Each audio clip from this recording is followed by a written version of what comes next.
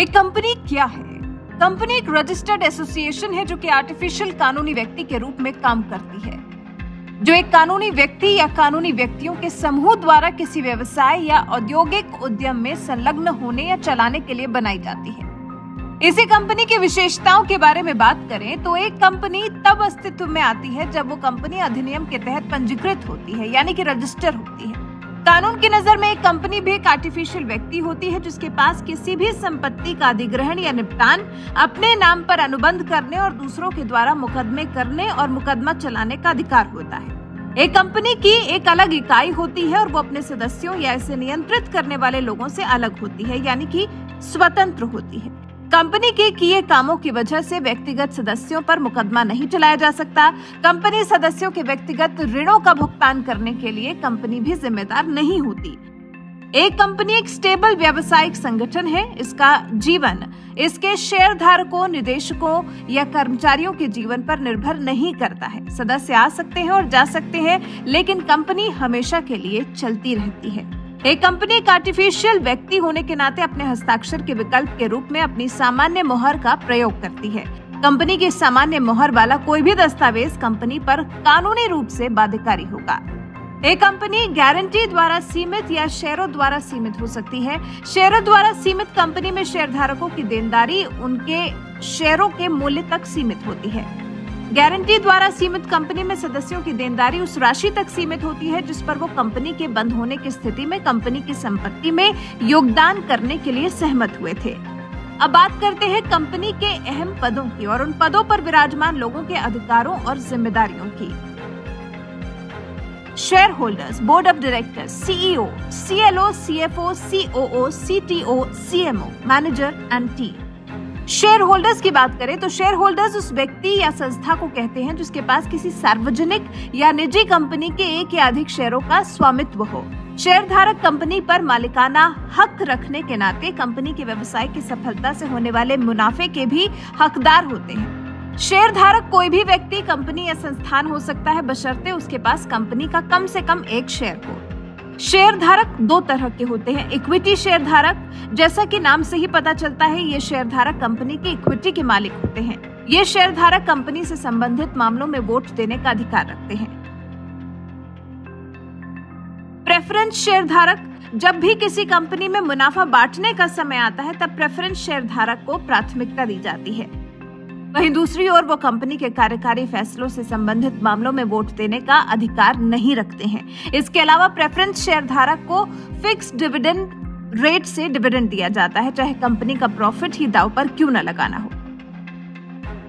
Share धारक की भूमिका और उनके अधिकारों की बात करें तो निदेशकों की नियुक्ति, निदेशकों के खिलाफ कानूनी कार्रवाई, कंपनी के ऑडिटर के नियुक्ति का अधिकार, जनरल मीटिंग बुलाने का अधिकार, बुक्स और अकाउंट्स का निरीक्षण करने का अधिकार फाइनेंशियल स्टेटमेंट प्राप्त करने का अधिकार, कंपनी का समापन करने का अधिकार, ये सब शेयर होल्डर्स को होता है। अब बात करते हैं बोर्ड ऑफ़ डायरेक्टर्स की। डायरेक्टर यानी कि निदेशक। ये शब्द किसी ऐसे व्यक्ति को परिभाषित करता है जो कंपनी बोर्ड में नियुक्ति का अधिकार रखता है। बोर्ड ऑफ़ डायरेक्टर्स का मतलब है उन व्यक्तियों का समूह जो किसी भी कंपनी के शेयर धारकों द्वारा कंपनी के मामलों का प्रबंधन करने के लिए चुने जाते हैं। क्योंकि एक कंपनी एक आर्टिफिशियल कानूनी व्यक्ति होती है, उसे काम करने के लिए लोगों की ज़रूरत होती है जो कि शेयर होल्डर्स नियुक्त करते हैं और उन्हें बोर्ड ऑफ़ डायरेक्टर्स कहा जाता है। बोर्ड ऑफ़ डायरेक्टर्स के अधिकार के बारे में बात करें। निदेशक वैसे तो कंपनियों की नीतियों को निर्धारित करने और कंपनी के काम को निदेशित और नियंत्रित करने का काम करते हैं। प्राइवेट लिमिटेड कंपनी के लिए कम से कम दो डायरेक्टर्स होते हैं और एक लिमिटेड कंपनी के लिए कम से कम तीन डायरेक्टर्स होते हैं। अब बात करते हैं सीईओ की।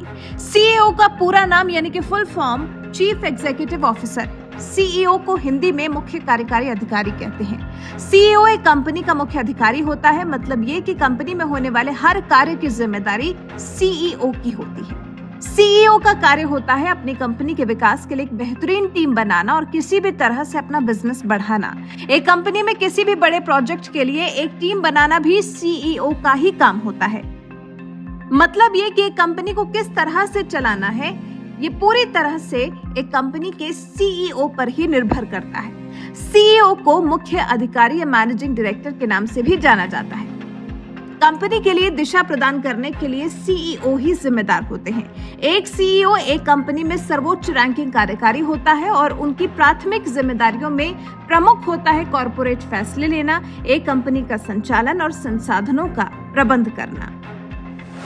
अब बात करते हैं चीफ एग्जीक्यूटिव ऑफिसर से नीचे के पदों की यानी कि CLO, CFO, COO, CTO, CMO इन सभी की ज़िम्मेदारी होती है सीईओ को रिपोर्ट करना। सीएलओ का मतलब है chief legal officer CFO chief financial officer COO chief operating officer CTO chief technology officer CMO chief marketing officer ये सभी ऑफिसर्स हायरार्की में चीफ एग्जीक्यूटिव ऑफिसर से नीचे आते हैं। चीफ लीगल ऑफिसर की बात करें तो मुख्य कानूनी अधिकारी होता है सीएलओ एक कंपनी के अंदर एक वरिष्ठ कानूनी कार्यकारी होता है, जो कंपनी और उसके कर्मचारियों को प्रमुख कानूनी और नियामक मुद्दों पर सलाह देकर कंपनी को कानूनी जोखिमों को कम करने में मदद करता है और मुकदमेबाजी से भी बचाता है। चीफ फाइनेंशियल ऑफिसर मुख्य वित्तीय अधिकारी। एक वरिष्ठ वित्तीय कार्यकारी होता है जो किसी कंपनी के वित्तीय मामलों की ज़िम्मेदारी लेता है। सीएफओ के विशिष्ट जिम्मेदारियों में योजना बनाना बजट बनाना, बही खाता पद्धति,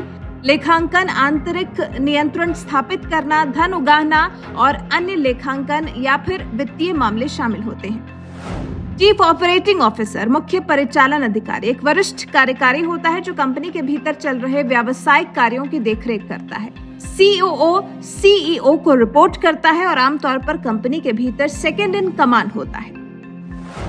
मुख्य तकनीकी अधिकारी, मुख्य प्रौद्योगिकी अधिकारी कंपनी के अंदर एक वरिष्ठ प्रौद्योगिकी कार्यकारी है जो वर्तमान प्रौद्योगिकी विकास और रखरखाव पहलुओं की देखरेख करता है। सीटी की विशिष्ट जिम्मेदारियों में कंपनी के लक्ष्यों के साथ प्रौद्योगिकी से संबंधित फैसले लेना, प्रौद्योगिकी विकास का प्रबंधन करना, प्रौद्योगिकी परिसंपत्तियों को बनाए रखना और प्रौद्योगिकी नीतियाँ बनाना शामिल है। मुख्य विक्रय अफसर, मुख्य मार्केटिंग अधिकारी, एक कंपनी के अंदर एक वरिष्ठ विपणन कार्यकारी होता है, जो राजस्व बढ़ाने, ब्रांड छवि में सुधार और विपणन अभियानों के प्रबंधन जैसे विभिन्न प्रकार के कार्यों में शामिल होता है। सीएमओ कंपनी के सभी डिविजन में मार्केटिंग रणनीतियाँ बनाता है, जो कि सीधे बिक्री, विपणन और विकास विभागों से जुड़ा होता है। अब आती है बात मैनेजर की। मैनेजर यानी कि प्रबंधक। प्रबंधक अधिकारियों या मंडल के अध्यक्षों या उपाध्यक्षों या फिर वरिष्ठ प्रबंधकों को रिपोर्ट करते हैं। एक कंपनी में प्रबंधकों की जिम्मेदारियों के बारे में बात करें तो लेखा प्रबंधक कंपनी की किताबों का रखरखाव, भर्ती प्रबंधक कंपनी के लिए कर्मचारियों की भर्ती और साक्षात्कार की स्थापना, प्रौद्योगिकी प्रबंधक किसी उत्पाद या सेवा का विकास करना, स्टोर मैनेजर कंपनी के स्टॉक का जो रखरखाव करता है, क्षेत्रीय प्रबंधक क्षेत्रीय आधार पर काम करने वाली कंपनी की देखरेख करने वाला जो व्यक्ति होता है, कार्यात्मक प्रबंधक एक कंपनी के विभिन्न कार्यों में विभाजित होने की स्थिति की देखरेख करने वाला व्यक्ति होता है। महाप्रबंधक किसी कार्यालय या कारखाने में एक महाप्रबंधक को नियुक्त किया जा सकता है, जिसे कार्यात्मक प्रबंधक रिपोर्ट करता है। एक कंपनी में हर एक प्रबंधक की अलग अलग ज़िम्मेदारी होती है और उस स्तर पर वही कंपनी को चला रहे होते हैं। सामान्य तौर पर वो उन लक्ष्यों और उद्देश्यों को पूरा करने का काम करते हैं, जो कि कंपनी के नियमित लक्ष्य होते हैं और ये सब करते हैं अपनी टीम के ज़रिए। हर एक प्रबंधक के नीचे अपनी अपनी टीम होती है। टीम में ज़रूरत के हिसाब से लोग रखे जाते हैं, जो कंपनी के हित में काम करके देते हैं। ये होती है कंपनी, उसमें काम करने वाले लोग और उनकी इस तरह से अलग अलग जिम्मेदारियाँ होती हैं, जिससे कि कंपनी अपने रोज के लक्ष्य से लेकर वार्षिक लक्ष्य को पूरा करती है। कैसे लगी आपको ये जानकारी? कमेंट कर हमें ज़रूर बताइएगा।